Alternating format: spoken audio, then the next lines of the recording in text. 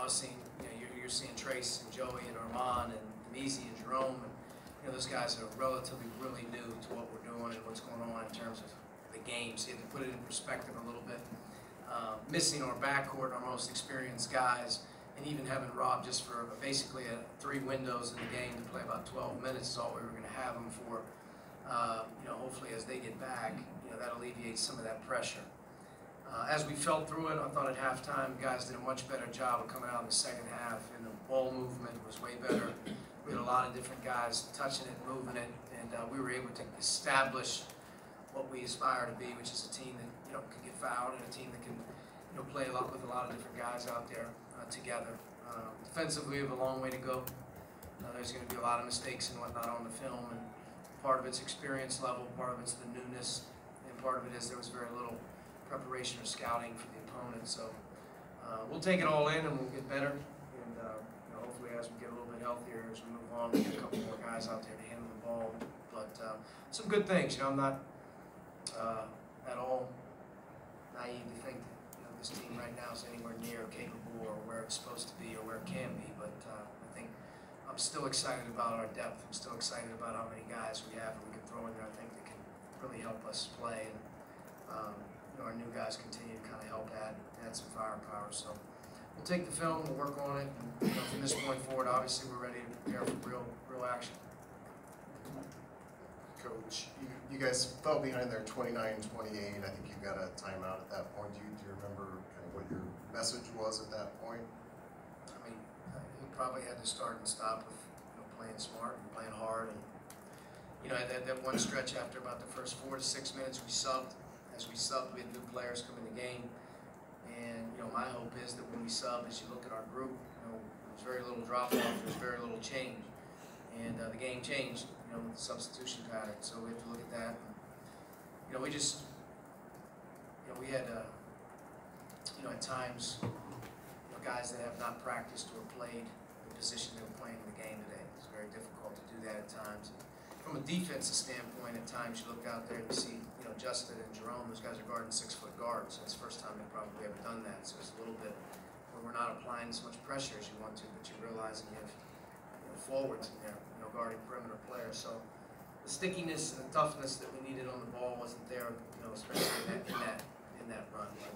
But our offense took care of it in the second half. Our offense moved it, and uh, we were much more efficient in, in the second half, being able to handle the ball and do some things that we were in the first half. Coach uh, Trey Jackson Davis and Armaan Franklin, uh, their comfort was for their first game seemed to be very comfortable for their first start. Well, both guys have been very, very good, you know, from the first day on campus till now. Uh, neither guy's afraid, and I think Armaan's the one guy that even surprises me a little bit. You know, he's been very, very good in our two live action games. He played out of position tonight for 30 minutes, and he hasn't learned one play playing point guard, but he started the game point guard tonight due to what we have kind of endured here in the last 48 some hours. But uh, both those young guys are good players, man. They're going to add a lot of value here. Um, you know, they're just learning. You know, and you're looking out there and you're, you're mad at them and you kind of get frustrated with them and you're saying to yourself, like, you never probably really imagined that Armaan was going to play 35 minutes tonight. It's like you thrust those guys in there, they get their feet wet, the next thing you know, they grow up right before your eyes. I think both of those guys are competitive, they're winners, they're good teammates, and uh, they're two really, really important pieces to what we've been trying to do, and they're going to play a big role in this team. Coach, you had mentioned yesterday that, you know, Rob hadn't had a chance to do much this month, but, uh, you talk a little bit about what the thought process was to try to get him out there tonight for, for what you did?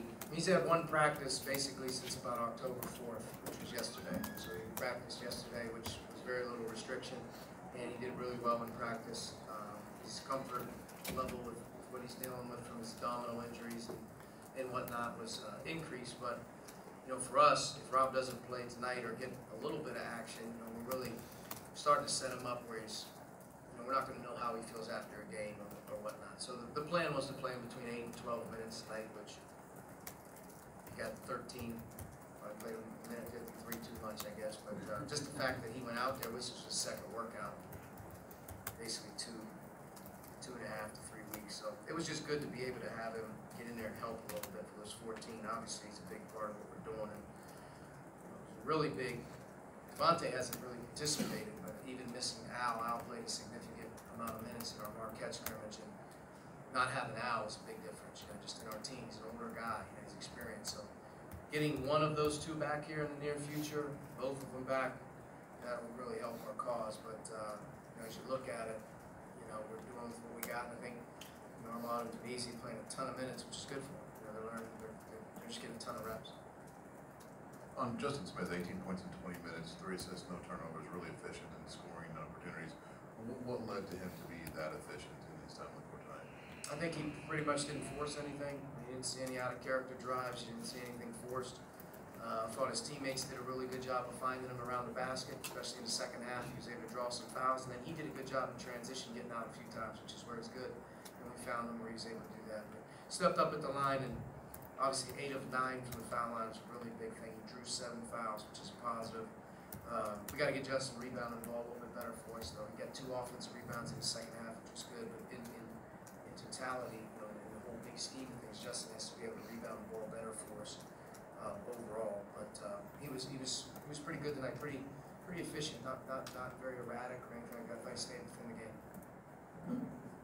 Talked about how good you think this team can be defensively. That second half kind of start in particular, do you feel like just how important was your defense to kind of triggering some things, getting into the open floor, getting some easy baskets? Yeah, I mean, uh, we just talked about it, you know, we spent most of our time as a team and then talking after the game. I mean, if there's ever a group that if they just hang their hat on their intensity level, the toughness level, and committed to the defensive side of the ball our depth and size, um, that alone can make us a, a terrific and tough, tough team to play against. Um, uh, I think the one thing that's a little unique right now is we don't have the quickness level of the guard that we're accustomed to on the ball. You know, Rob played a little bit tonight, but Armaan's a true freshman, and other than that, we didn't really have a perimeter player on defense. We have Justin and Jerome, Damezi, those guys are running around with those little guys. That's different for them. So, but without question, if this team has a chance to reach its potential, it has to become an elite defensive team. It has to become a team, even with its youth, youth and newness, has to become a team that can win with its defense.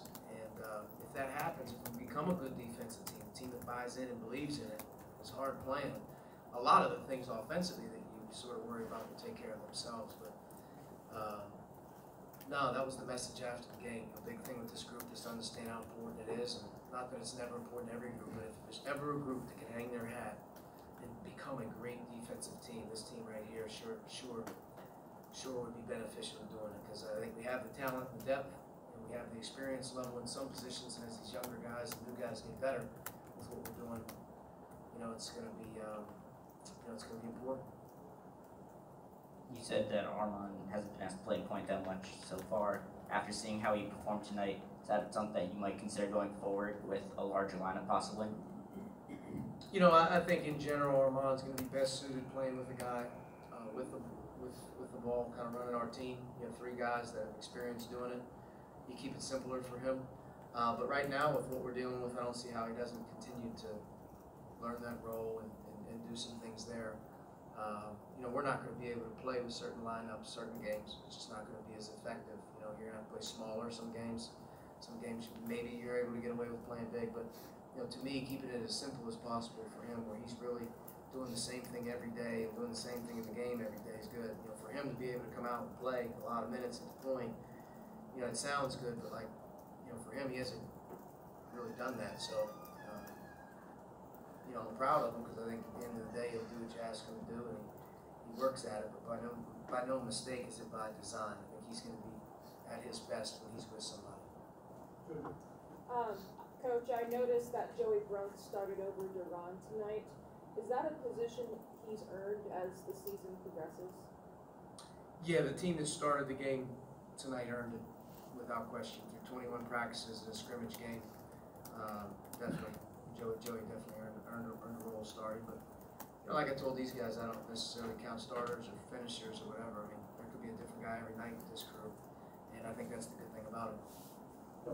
Uh, just to go back to Armaan, I guess, I mean, you said he didn't know one play. How did he pull it off? Basically, how, how did he manage to get himself in position to get right and run the offense tonight? We had a shoot around this afternoon and sort of ran through a few things for him. Um, and he's smart, he's intelligent enough to know to figure it out a little bit here where, you know, it's, it's, there's not a ton and it's not like we're running a thousand things. And in the second half, to make it simpler on everybody, playing out of position, he really didn't run a ton. We kind of just relied on our passing game and moved it, and I thought that actually looked pretty good for, for this time of year with that many guys out there. There was a lot of movement, a lot of action, and we took the pressure, I think, off of plays, or I don't really know this play because I never ran it before, and we, we let them play a little bit more. I thought in the second half that really helped us. Uh, you mentioned the three areas yesterday, rebounding, free throw shooting, and taking care of the ball. How would you evaluate, uh, how it was tonight compared to Marquette, growth-wise? Uh, taking care of the ball, I think, um, I don't really know numbers at the half. I know at the halftime, we talked a lot about our offensive rebounding not being there. Uh, we had a lot of guys with zeros, goose eggs there, that changed in the second half. Uh, the turnovers, we had seven, I believe, at the half. We finished with sixteen, which is six over what we're trying to deal with right now. We don't need to turn it over. Some of them were unforced and whatnot, but, uh, the rebounding total ended up being plus fourteen on our end, but you know, I think we're gonna, we're gonna deal with a little bit harder, harder rebounding woes, but, uh, those are the things we're talking about. I thought the one thing that our guys did a really nice job with after half was the free throw discrepancy in the first half, them being six of eleven, and us being five of six. You could just tell right away our offense was getting zero done in terms of effectiveness. In the second half, being able to get, I think twenty-four free throws in the second half was much different feel offensively, it's much better feel for our guys. They did a good job there. Coach, not having Al and Devonte obviously changed things up a little bit, but how'd you feel your big guys all played well together? Yeah, I mean, right now, we're, we're kind of, we, we, have the ability to play small, whether we wanna go with Jerome or Justin in there as a fourth guy around one. Uh, but right now, we're kind of staying pat with, with De'Ron, Race, Joey, and Trayce being sort of as a rotation. Um, that can change. Uh, right now, with our depth, we don't have the ability to not have those other guys on the perimeter, so they did a fine job. I mean, we're gonna play against more skilled teams, you're gonna play against more perimeter-oriented teams where things can change, but that's where that foul line, that's where the post, that's where the rebound, and, you know, you have to be able to win certain ways, and one of the ways we have to be able to win is with Trayce on the floor, Race on the floor with another guy, we're able to play, and I thought in the second half, more importantly, they were able to do that. Uh, where we're gonna get in trouble here early is gonna be defensively, covering the three-point line with our front line and being able to, you know, cover out and be a little bit more pressure-oriented, we're gonna have to get better there. Thank you. Thank you. Thanks.